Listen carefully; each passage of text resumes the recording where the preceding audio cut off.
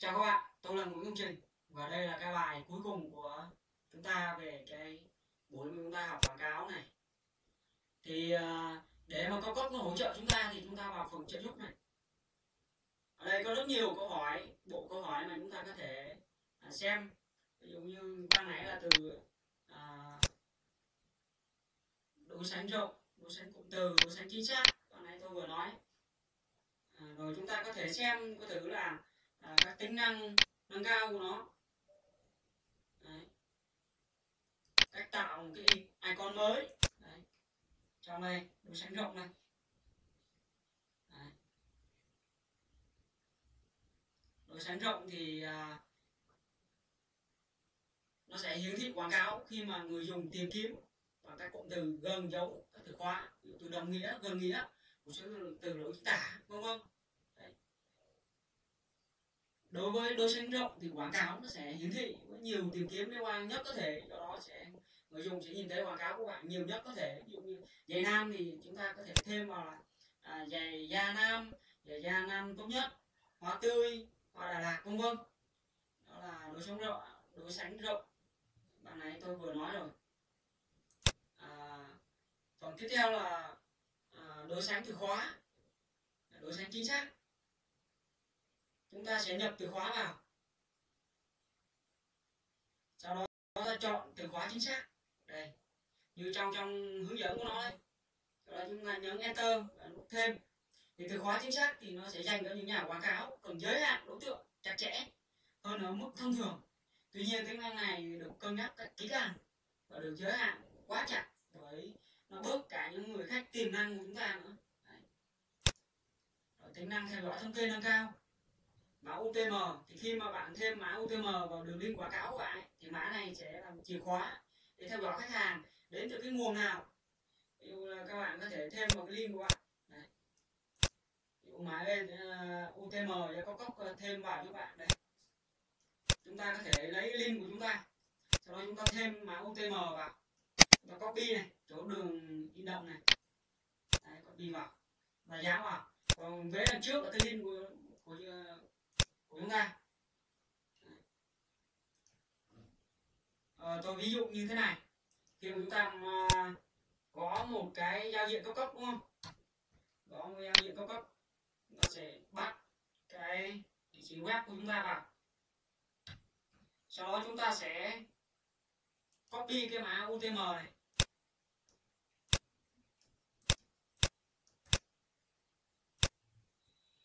Copy mã UTM này ta dán vào. Dán vào trong cái trình duyệt đó. Đấy.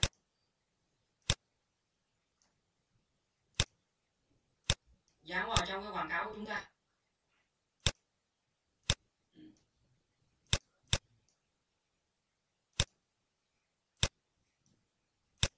Đấy, chúng ta để dán vào cái quảng cáo của chúng ta. Dán vào quảng cáo chúng ta vào cái phần chính dịch này thế thì chúng ta có thể vào phần chính dịch này. Sau đó các bạn vào cái phần à, cái, cái cái cái cái tên của quảng cáo mà chúng ta vừa tạo.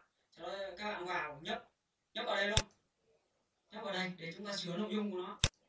Chẳng hạn đường link. Đường link tại đây thì các bạn có thể vào bitly để mà à, rút ngắn cái đường link đấy thì chúng ta có thể copy cái đường link này cái đường link đây. Lên bitly à, để chúng ta dán vào. Đấy. Copy vào.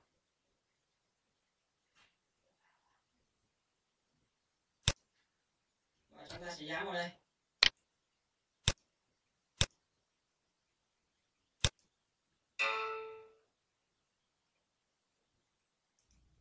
Sau đó chúng ta sẽ lưu lại.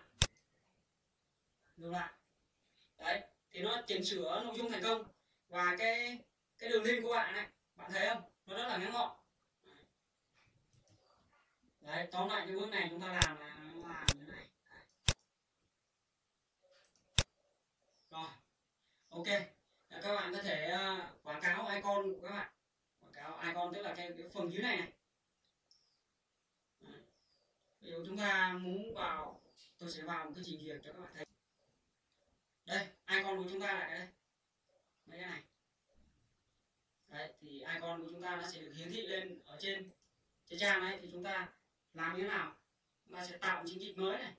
Đầu tiên là chúng ta chúng ta vào tạo chiến dịch mới. Chúng ta quảng bá, quảng cáo icon của chúng ta. Chúng ta thiết lập giới hạn cho nó. Chúng ta cũng cũng làm tương tự như thế. Cài đặt các thông tin cơ bản rồi à, cài đặt nâng cao. Đấy. rồi nhập từ khóa. Thế nhập vào các từ khóa. Rồi chọn lưu để à, để quảng cáo. Quảng cáo sẽ được duyệt. À, có trạng thái đang hoạt động và bắt đầu hiển thị. Quảng cáo từ chối thì nó sẽ có từ chối. Và trong trường hợp từ chối các bạn muốn biết lý do tại sao từ chối thì các bạn và tiếp tục phần từ phần phần trợ giúp đây nó sẽ có cái lý do để các bạn à, xem lý do sao từ chối. Và các bạn sẽ gọi điện cho nhân viên này để hỗ hỗ trợ.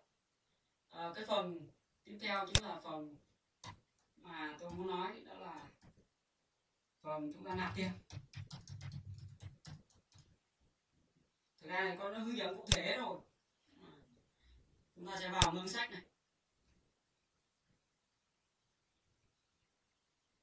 Nhấp vào nạp tiền.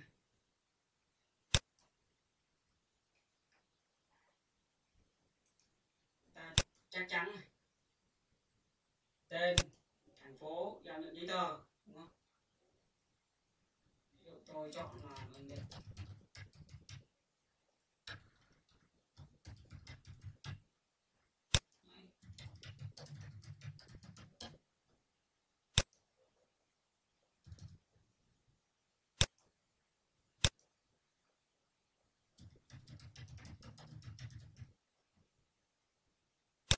lưu lại Đấy. thì như cái hình thức thanh toán này chúng ta sẽ thanh toán qua thẻ visa này qua à, tiền gửi ngân hàng này hoặc là chúng ta có thể liên hệ đến tận nơi nữa đối với cái chiến dịch của chúng ta đối với chúng ta mà ví dụ như chúng ta muốn muốn trả tiền cho chiến dịch của chúng ta hoặc là chúng ta có thể vào phần chiến dịch này chúng ta nhấp vào phần nạp tiền để chúng ta có thể nạp tiền có rất nhiều các hình thức nạp tiền khác nhau.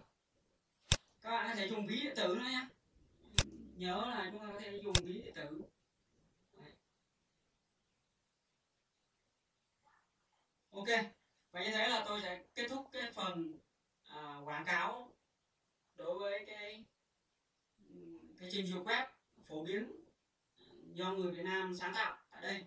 Và tôi sẽ à, chúc các bạn là tạo được cái quảng cáo như mong muốn và thành công.